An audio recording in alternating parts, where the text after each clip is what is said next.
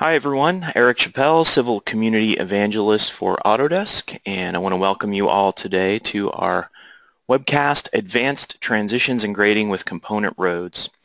Our, uh, our stars of the show today are going to be Nick Zeeben and Seth Hall, also from Autodesk. Uh, but before we get to, to those guys, I just want to talk to you a little bit about our webcast series and our community. If you're new to the series, uh, this is something we've been doing for quite a while now. We try to do it twice a month on the first and third Wednesdays. And the goal is for you folks to, to hear from our product team members. Um, a lot of times it's about new features or fairly new features and uh, to give you a chance to hear about them uh, from the folks who develop them and maybe get, get some insight as to why they did what they did and what drives them and maybe even a little bit about how they work. And of course, uh, you also have the opportunity to ask questions, and I'll talk about the details of that a little bit later. But ultimately, the goal is just to bring you folks closer together with the, uh, the people making the software on this side. We haven't got our next webcast lined up yet. We do know the date and time. It'll be Wednesday, February 1st from 12 to 1. So same time, uh, same slot, first Wednesday of the month but uh, we're working on the topic as of right now. So keep watching those uh, bulleted items at the bottom there as far as where we're going to post information about how to register and get your seat reserved for those uh, for the next webcast. One one thing we have the uh, benefit of, we've got lots of great presenters and lots of great topics internally. So I'm sure we will find uh, find something for that uh, for that date. A um, couple of polls so this first one I'm going to launch is what is your current usage level with InfraWorks 360? We'd like to know how you're using it, whether or, or if you're using it, in, in uh, depending on what you pick, um, ranging from I don't even have it installed the whole way down to I use it on every project, couldn't live without it. and uh, it's interesting to see some of the variation from one webcast to the next. Um, as as I kind of expected with the topic, we've got a lot of regular users on the webcast today because we're, we're digging kind of deep. And so that one right now is uh, 35%. I regularly use it on some projects. Second place is 22%. I've dabbled on it on a few projects. And the remaining three are in the teens. So we've got a uh, majority of regular users in, uh, in today's webcast. I'm going to close that poll and launch the next one. What type of work do you do with InfraWorks 360? Especially interested in the results in this one today, being that we have so many regular users. So if you wouldn't mind, take a minute to uh, provide your answer to that poll.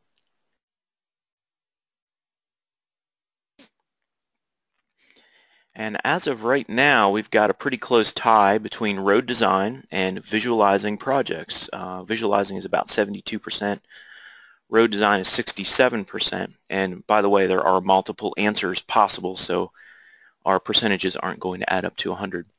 Uh, third place is site design. So we've got visualizing, road design, and then site design. All right, I'll close that one down, and let's do the next one. Since we've got the attention of the uh, product team on the call, be nice to hear from, from you what uh, area of the software you'd like to see developed. Road design, site design, residential, rail, or other. And uh, one thing I'd like you to do, if you do choose other, if you wouldn't mind typing in the questions box what your other is that you're thinking of, just to give our product team folks an idea what's on your mind. Uh, so, right now the results are coming in 68% site design, 46% road design, 34% residential, 16 rail, and 14 other. So uh, site design is uh, kind of the clear winner in that poll. So appreciate the feedback. That really um, really helps us out a lot and um, gives us an idea where your minds are as far as the development of the product. Um, just want to make everyone aware of our InfraWorks 360 community.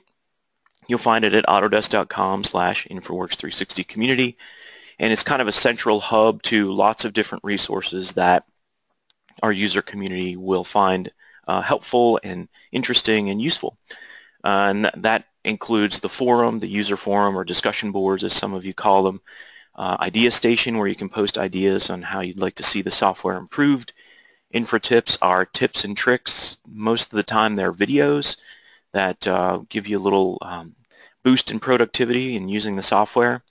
Um, the gallery was uh, was overhauled a few months ago and has a lot more capability. It's a great place to show off any projects that you're working on or to take a look at projects that other people are working on to get some ideas about what's possible and what kinds of projects can you really excel at with uh, not only InfraWorks 360 but really all of our civil products. Uh, Social Hub is a stream of the latest blog posts, social media posts, kind of what's trending in our civil infrastructure Autodesk space. And then uh, we've got videos, um, not, not only recordings of the webcast, but also other videos as well. And by the way, we've got our entire library captured uh, in, as far as this webcast series from, I think, more than two years of webcasts now. So there's quite a collection going back uh, of, of lots of cool topics as they relate to InfraWorks 360 and Civil 3D. So be sure to definitely check those out. A little disclaimer, I don't know if we're going to get into any preview or labs features today, but just in case we do, um, you should know that any statements regarding preview or lab features are, um, are not a promise of anything to come in the future and that you shouldn't make purchasing decisions based on anything you hear there. So um, little disclaimer there. And we want to encourage you to ask questions. Uh, as I mentioned, Nick and Seth are going to be our presenters today. Um, as one of them is presenting, the other will be answering questions. I'm going to do my best to help answer questions as well. And uh, questions just make the whole thing more interesting. So please uh, don't hold back. Ask your questions. And at times I may even interrupt Nick or Seth to uh, to throw one of those out for everyone to hear. So uh, we'll also, if we have some time at the end, we'll take some questions as well. So please ask lots of questions. And with that, I am going to turn the floor over to Nick and Seth. All right. You can take it away. I think you're going to be first. Is that correct? That is correct. We're going to reverse alphabetical order today. Can you see my screen, Eric? And Nick, if you're talking, I'm not getting your audio right now. Really? Uh, can you hear me now? Eric? Hello? Eric, can you hear me? Can they can hear you people, online. All right, people on the call can hear me. Eric cannot. I'm not sure why, but we will. Uh, we'll get on with this show. Um, so I guess first things first. Um, almost all of the grading capability uh, that I'm going to talk about today uh, was brand new uh, and introduced for the uh, latest release of InfraWorks. So that became available for download uh, either through the Autodesk app or uh, your subscription account. Uh, I believe last Friday it went live. So um, if you haven't gone and downloaded that and installed it, uh, I encourage you to do so. Uh, otherwise, a lot of the things that we're going to talk about today just won't be there. Um, so first, let's talk about access. So I've got uh, a couple roads. Me and Seth are working in similar versions of the same model. He's got some changes he's going to show in other parts, but um, so I'm just going to pick this road here uh, in the model and select it. Sorry, just being a little slow today. There we go. So I've got it selected. Um, before I actually dive right into the grading, um, you'll notice that there's some annotation that comes up um, when I do that selection. So that's also new. Uh, we're showing stationing in this case for the horizontal alignment geometry. I don't know, if Seth's going to talk about that a little more maybe, but uh, it is there now. So um, in order to get at um, the grading capabilities, uh, if you right-click after that selection, you're going to want to go drill down and choose this Show Roadside Grading facet, uh, is what we call those here uh, at Autodesk. So um, you'll see the grading entry show up in the stack to the right. Um, and in order to access all of the new functionality and capabilities that we have, we're going to want to switch from a fixed width type of grading, so we're fixing how far out it's going to grade, into fixed slope. So that's where we did um, all the work as you as engineers tend to want to work in fixed slopes. So uh, it's going to go up ahead and recompute uh, for that road. Uh, and now we have fixed slope grading available for the roadway. So uh, a couple of notes. Um, so uh, in the prior release to this, we changed things so that you could actually apply a material to grading on the left and right sides. You got still holds true, um, and we can start to break it down into subregions or subareas, and I'll get into that in a minute. But um, what I would suggest is if you really want uh, to see or continue to see the aerial image there, um, at this top level, uh, don't assign a material. So once you get rid of the none material, uh, at the moment there's no way to get it back. Um, so I would leave material unassigned at this top level when you just have the whole road selected. Um, and then as you break down individual areas that you want to assign materials to, you can do that, but you'll leave the area behind um, in areas where you might want to still see it. Um, so I could adjust the grading slopes, and here if I'm working at this level, um, it will impact the entire road, uh, and any changes I make um, to the road, to the grading will affect the whole thing because that's what I've got selected. So I'm just going to jump to a different area. Um, over here where I started to um, break up the grading a little bit. So I'll switch my road selection to this other one here. Um, and you can see in this case I've got the whole road selected, but we get uh, the vary, material varies or various values uh, image and text here. So there are various materials. You can see, like I suggested earlier, uh, on the fill side, or sorry, the cut side of this road, um, I don't have any material assigned right now, but on the uh, fill side of the road, I have assigned a grass type material to the road. So let's take a look at um, some of the controls that we've introduced.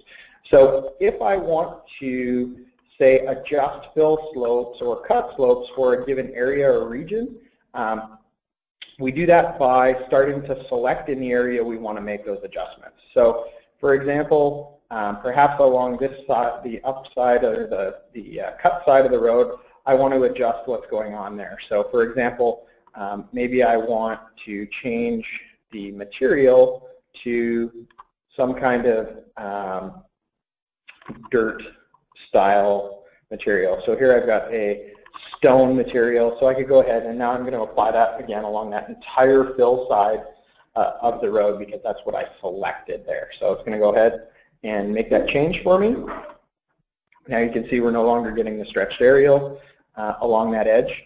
I'll go back and pick that side again, and then we'll start to uh, break up that side into some different um, grading. So I've got that side selected again.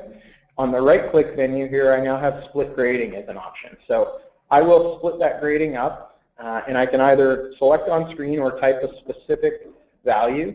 Um, so I'm going to say at station 210, I want a split, and then I'm going to come somewhere down to like around here, 240. We'll 240, sorry. And put that in. So um, I now have broken that grading up into some separate areas that I can control the grading individually on.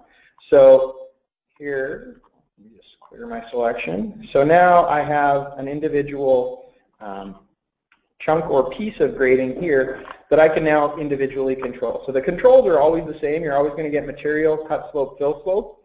Um, and then within that, you can adjust it for the given selection. So you can see I have this region selected. You can see it's 34.586 meters long right now. Um, if I wanted to adjust, this is a cut slope.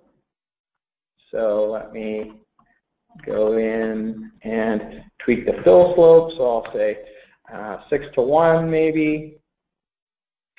And it's going to go ahead and apply that update.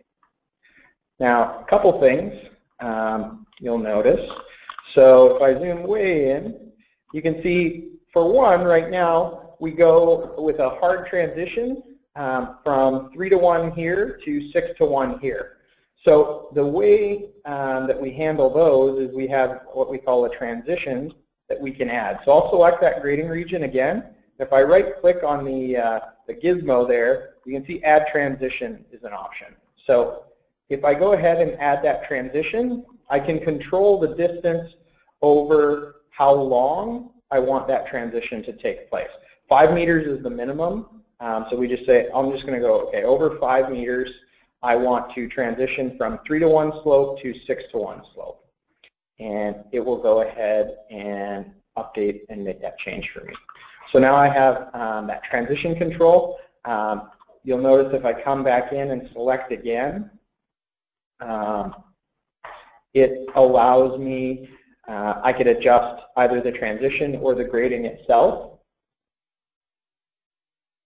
Um, and I can uh, change or update that transition length. So it'd be the same thing over here on the right side. I won't um, spend the time to do it because it'll take um, probably a little bit of time to refresh the uh, the uh, display, but uh, I could make that same change. So there's one more thing um, I want to mention while we're looking at this view. So when I switch to 6 to 1, I don't know if it's super evident to everybody looking or paying attention, but along the back here, you can see there's sort of a vertical face um, that's been formed. And the reason is, if we go back to just the road selection, um, we have a setting in the grading controls that's called grading limit. And you can see here it's set to 5 meters. So um, this setting has a, can have a, a, potentially big impact on responsiveness of how long grading is going to take to compute. So right now in my case it's set to 5 meters. What that means is we're going to go out at whatever slope specified, but we're going to stop automatically at a 5 meter limit. Now, so in the case of the 3 to 1 slope here on the left, let me just move it along a bit. So here in this 3 to 1 area, I didn't hit that 5 meter limit, so it tied exactly to existing ground um, and made a 3 to 1 slope.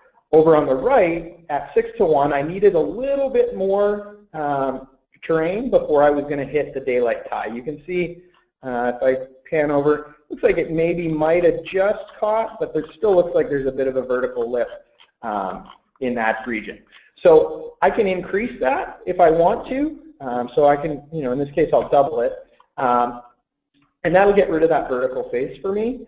Um, but what you sort of want to avoid is, you know, setting it to an abnormally large value because what you'll see is the performance uh, of the grading computations will actually decrease quite a bit um, there. A couple people are asking you about vertical walls, mimic a ret wall situation. Yeah, yeah. So I'll switch over here to the other side uh, of the roadway. So um, retaining wall type scenario. So um, I guess to Eric's comment, we do, um, we would like to in the future do some work around specific um, retaining wall details, um, looking at different types of walls, cast in place versus uh, block wall, things like that. Um, but for the moment, um, I, over here, this would be uh, a fill slope. So if I select this area um, and we decided that you know this was going to be a steep face, um, I could just take a really steep slope um, and apply it. So you can't go true vertical. Um, same rules apply sort of across civil engineering design software um, for terrain slopes. Um, but I can put in a really steep slope there. You can see that um, 0.1 um, is what I picked there. I could have picked something else. Um, now, if we're going to represent retaining wall, um, then we're going to want to apply a different material, right? So if this is, you know, I don't know what type of retaining wall people are using, but let me expand my dialog box a little.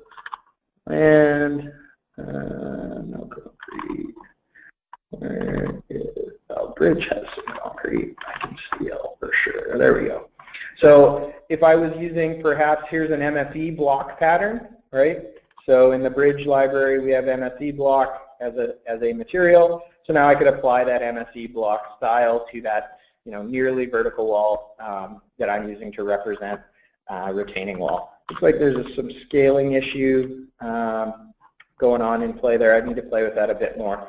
Um, same thing in this case. Um, I have a transition already applied over this area. So if I wanted to alter that transition, I could change uh, its location um, so that we're transitioning a little bit differently. So I could move that, you know, somewhere here uh, where we transition to uh, the steep grading section.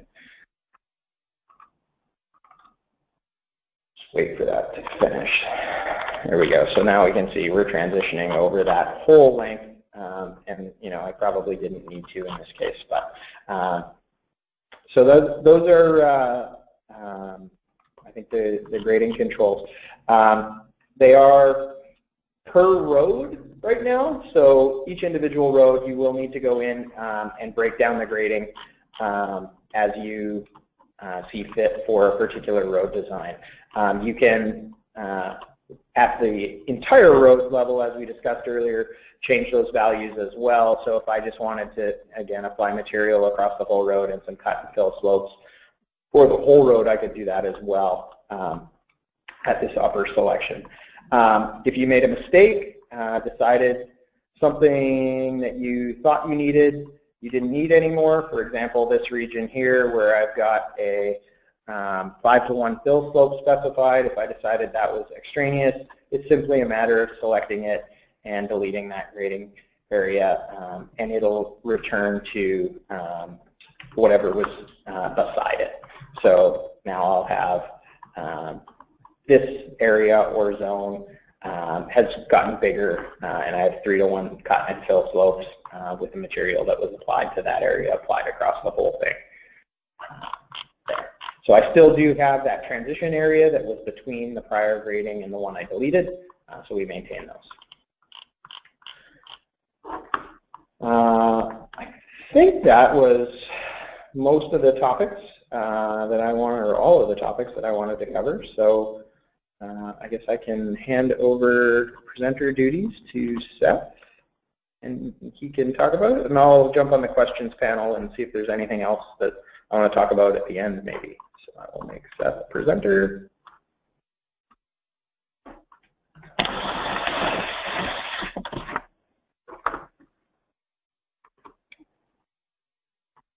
All right, can you see my screen on your end? Yep, we're seeing you.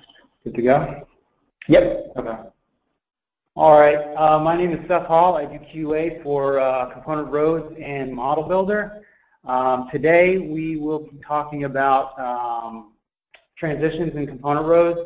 Um, I'm going to walk you through uh, what you see here is a little uh, you know, lookout point on this road in um, Yellowstone National Park, um, doing a little trickery with uh, some um, components um, by changing the uh, slopes and materials.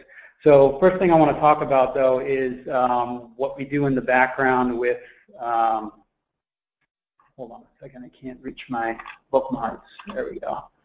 Uh, with component matching. So we, during an edit operation or an insert operation, we walk through the road and verify if a component can match with itself. So only, only a certain component can match with itself. So a lane can match with a lane, a shoulder can match with a shoulder, or sidewalk can match with a sidewalk.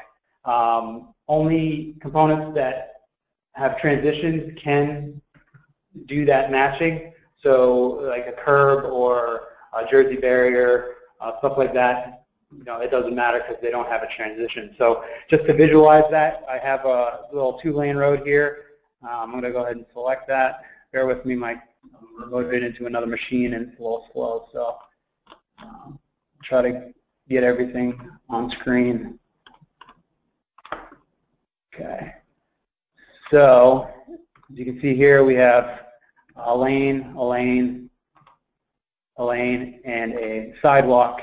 So um, even though it looks like a lane, it's a sidewalk. So if we go ahead and turn on these transitions,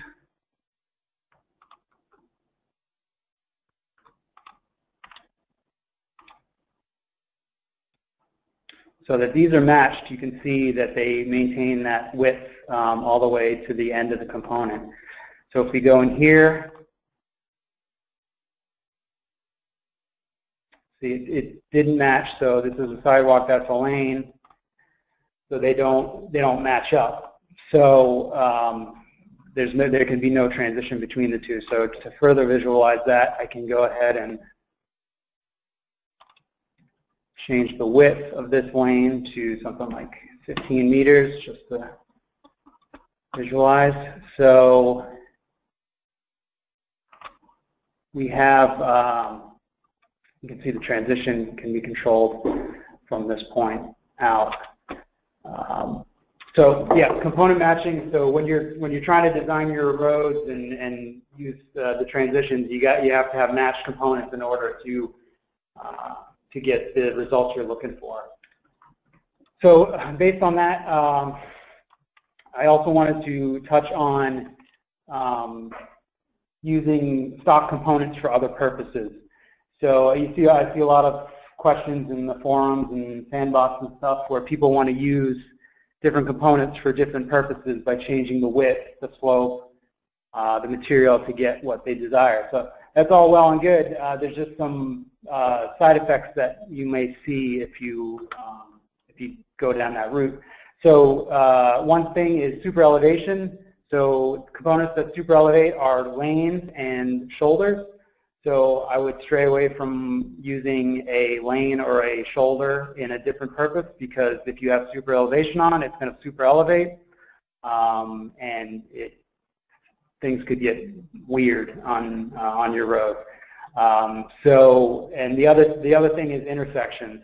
Um, the way intersections are calculated, um, depending on where you place a component in the in your assembly, uh, you could get some um, kind of like a curb return in the middle of a road, um, and there's all kinds of other scenarios you can get yourself into. Um, so just uh, you know, uh, disclaimer there. Uh, what I'm going to show you, I'm going to do a little bit of that, but it's going to be in a certain section of the road, so I'm not going to have any intersections or uh, uh, or super elevation necessarily in my example here. So um, going back to so what I'm going to do is, is this type of scenario here with, uh, you know, a turning lane um, with this, this lookout type area here. So uh, let's go back to my demo road. All right, so I have the same assembly here, and I have, uh, so it's just the median a lane on either side and a shoulder uh, with uh, a different um, material applied. So I'm going to start by splitting this by splitting this median, which is going to turn into our uh, area where we can cross traffic and turn into our turnaround, our uh, lookout point.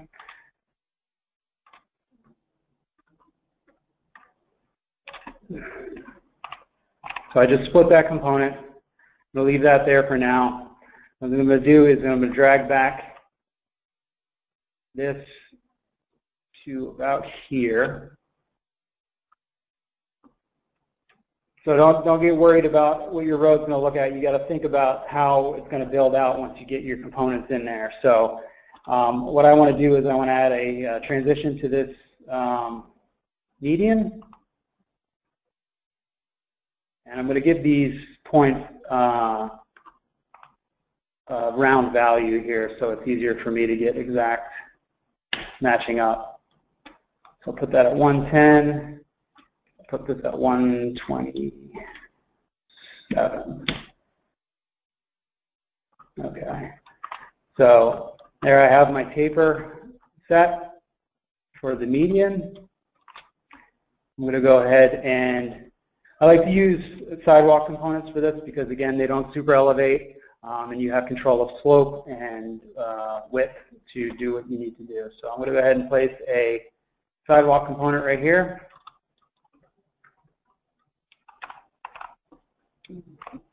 So now I'm going to manipulate this to fit into this piece that maintains the width of this entire road. So I'm going to go ahead and move this back to 110. We'll move this to 127. And I know the width of this overall median is 4 meters, so I am going to change that to 2. And I'm going to get rid of this transition here. And I'm just going to leave the material alone for now. And for this side of the road, I'm going to go ahead and insert another sidewalk component. Again, move this to 110.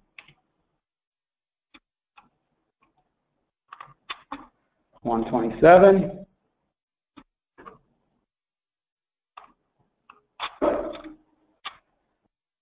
And change the width to two. So, benefit of that, this is a depressed median. I don't know if you're going to be able to see this on my screen or not, but you can see the, the center line of, of that median um, is going to meet up nicely with this. Because when you add a tra uh, transition to a median, it'll taper the vertical and horizontal. So it'll go up to a point, um, and these sidewalks that are set to zero slope will match that nicely. So I can go back and drill back into these. And for this one, I would want the pavement to match the pavement. So if I was going to do this a lot, you know, typically I would create um, a custom assembly by only using one component. I'd have like a sidewalk with the um, lane material uh, on it and save that so I could just insert that and not have to do this every single time. Uh, same with uh, this one. I would typically create one called green space and use it in all sorts of uh, different applications, uh, you know, green space between sidewalks and stuff like that. Um, but there we got the um, turning lane um, set in right there. So we still have this uh, broken component right here in the middle. Um, I'll go ahead and I'll just change the slope to make that flat. And I'll change the material to match the roadway. So we got that. That should all match up on elevations um, from this, the end of this median, uh, the end of this turning lane, which is actually a sidewalk. Should be no gaps in the roadway. Um, so we could go ahead and if we wanted a turn lane going this way, say we had a, you know, a secondary road here or, a, you know, an intersection without an intersection basically. Um, we could go ahead and do the same method over here or um, since this is still a depressed median, what we'd have to do, is, I don't know if you guys can see that on screen, but there's a gap right there um, where the depressed median, since this doesn't have a transition, um, go into there. So what I'll, I'll go ahead and do is I'll split this again. And I will turn on transitions.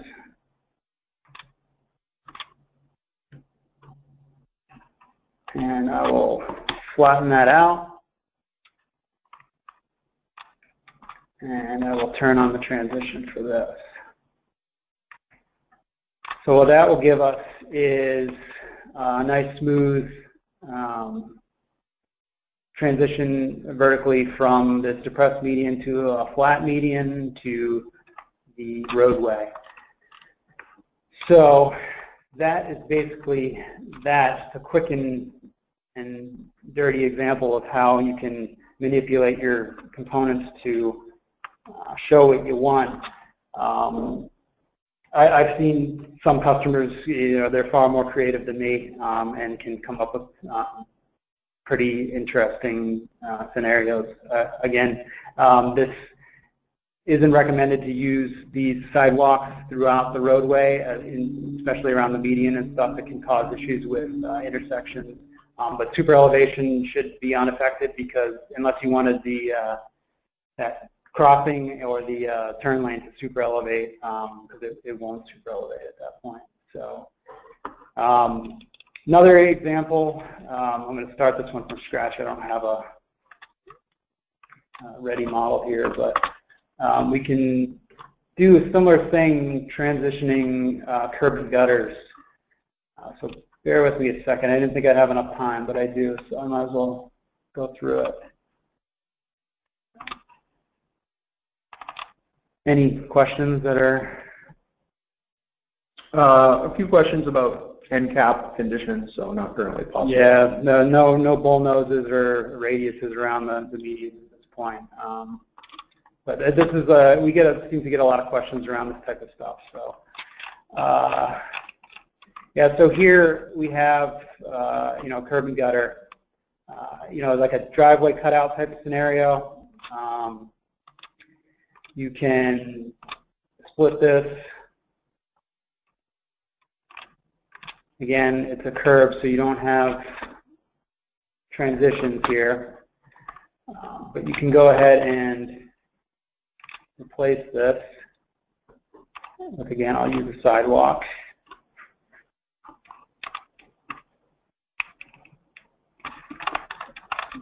So we want to match the slope for the curb. So we have, I mean the gutter, sorry, gutter slope, which is negative, negative 6. So, and what was the width? So I'm going to match the width of 0.45 and the gutter slope of negative 6. So 0.45, And negative 6. And again, go ahead and switch the uh, um, switch the material to match the curb. I don't know it off the top of my head, or I, I don't want to be digging around the style picker while we're on here. But you can get it to match up pretty well, although that doesn't look like it matched for some reason.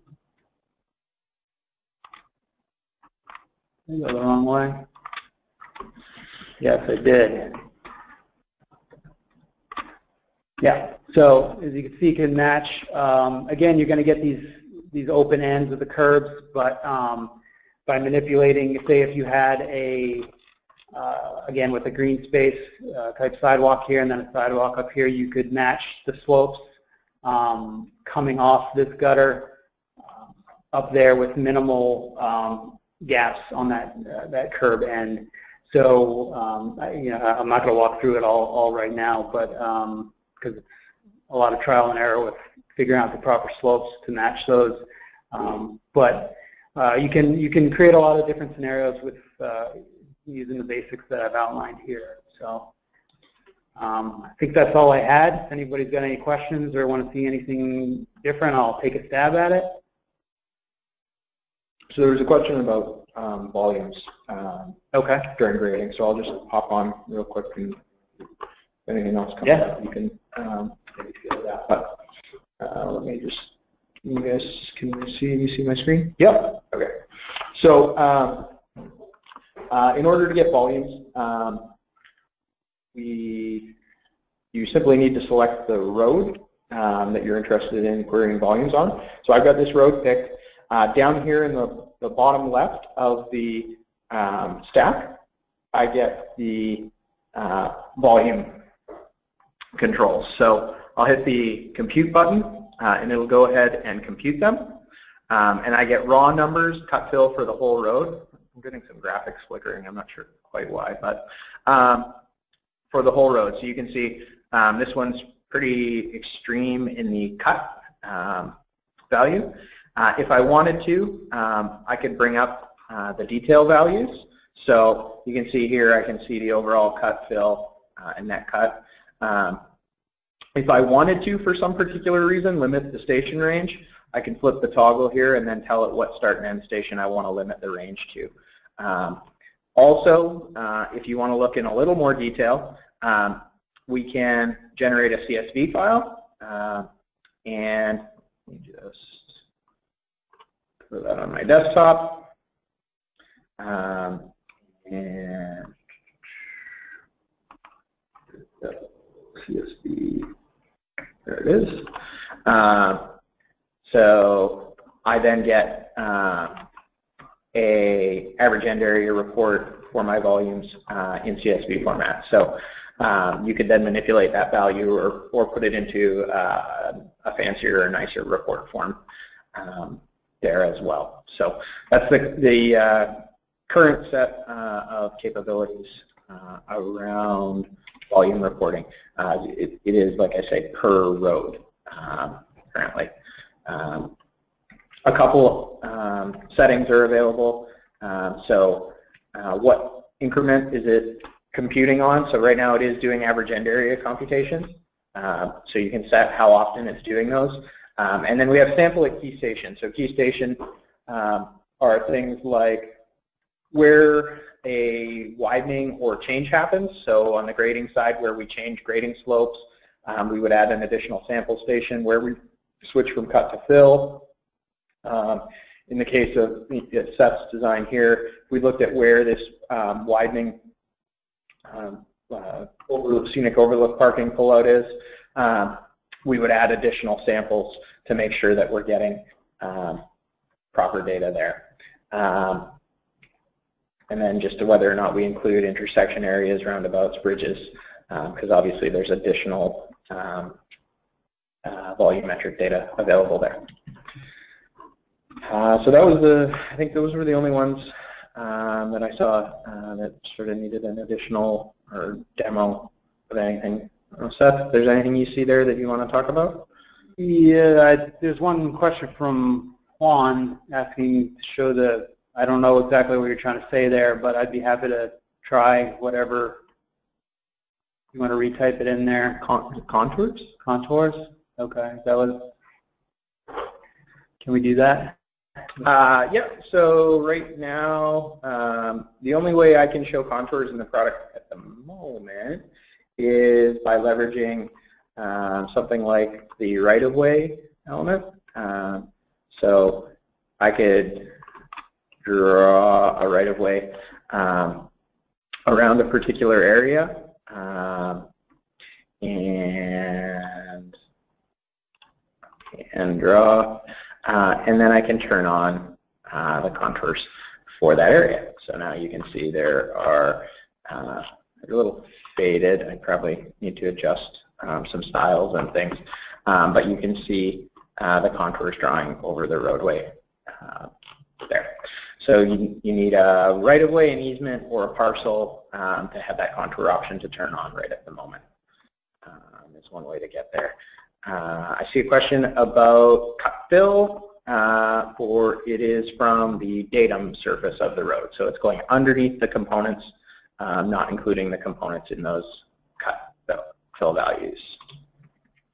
Uh, Cody's asking for the whole road. Um, I assume contours for the whole road. Um, so yes, um, the, probably the fastest way to do that um, if you pick the whole road and say add right-of-way, we'll actually um, a right-of-way that should encompass the bounds of the whole road. You could then turn on the contours for um, that one. And that's based on the road type, right? It's based on the road type as far as how far we offset. So for a local road, I think we go uh, like, can't even remember, 10 or 15 feet. Um, and then like for a highway, I think we go like up to 50 or 100 feet um, to try and encompass the road. And we do also do bump outs around intersections to make sure we include the intersection areas in that. Uh, so that'd be the, the ways to uh, do that. Uh, can you control right-of-way width? Yes. Um, so when I create one, I mean, I'll do it on this road here. Um, so let me add a right-of-way. Uh, there we go. So there I added a right-of-way. Um, now if I pick, uh, pick it, um, if I pick an individual segment in the right-of-way, um, then I get the offset value. Um,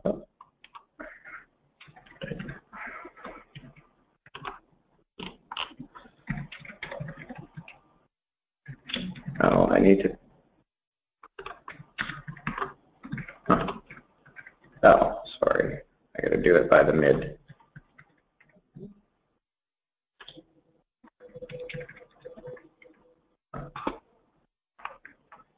Strange. I'll have to think about that. I'll follow up on that one because I was fairly certain I had an, I could edit uh, by offset. But perhaps me and the team have had a discussion about editing by offset, but it might not be, might not be built yet. that happens too. Uh,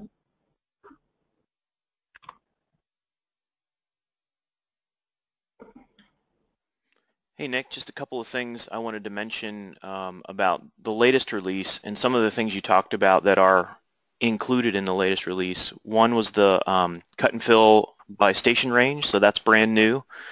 And yep. I don't know if anyone picked up on it, but when you went into the volume settings, there's an option now to include intersections, cul-de-sacs, and bridges in the quantity. So that's also a new capability in this latest release. And then some of the editing that you just did with the right-of-way, um, we've greatly improved the, the editing for right-of-ways, parcels, and, uh, and easements. So that's, that's new as well. So if, if any of you are current customers and you haven't gone out and downloaded the latest version, make sure you do that because um, there's, some, there's some really important improvements in there.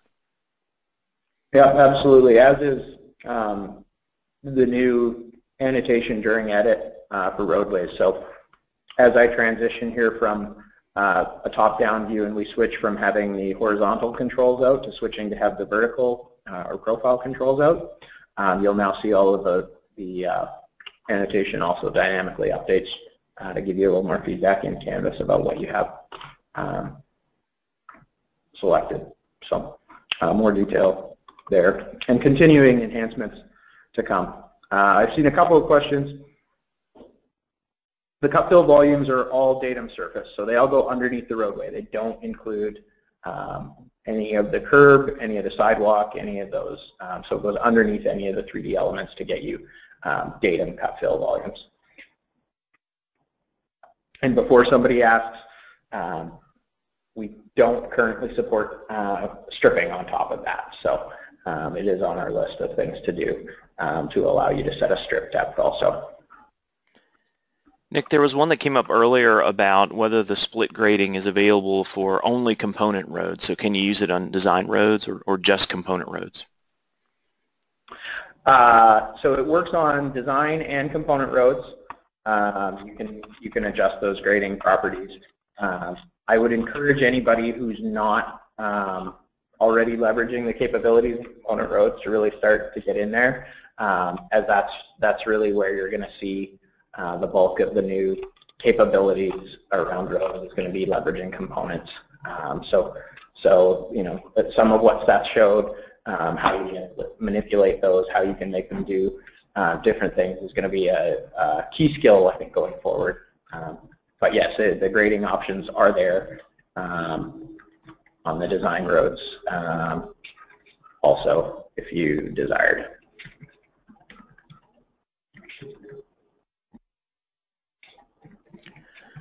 All right, great. I think uh, I think the flow of questions has uh, has died down a bit.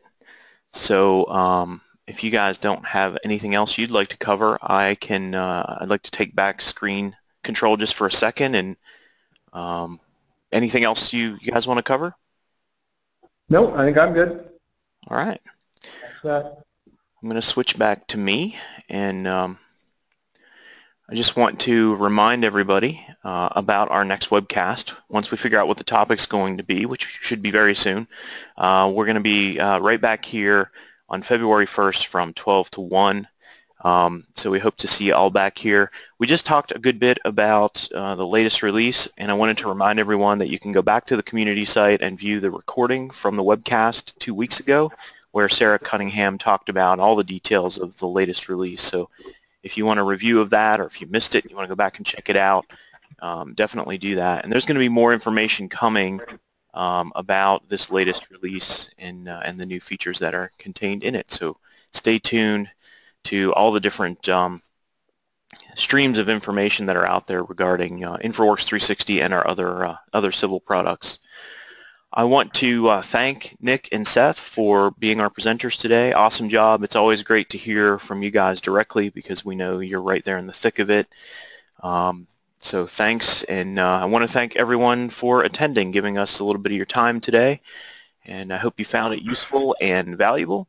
And um, this session was recorded and will be posted shortly, so if you want to go back and review anything, or if you had a friend that missed it, you can share the link with them.